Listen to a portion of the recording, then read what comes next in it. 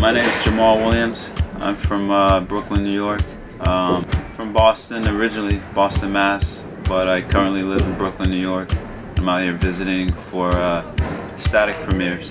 Uh, Static 4 and 5. Um, have you seen it yet?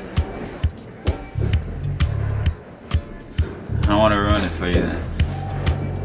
Static 4. Static 4. Yeah, it's pretty fun. A little slippery, but it was fun. Yeah. Yeah, make it different. Yeah, make it a little bit more exciting. Make it, yeah, make it fun. If it's there, you can move it around. Why not? Yeah. Oh, I know. it was cool. All the dudes helped us move it around.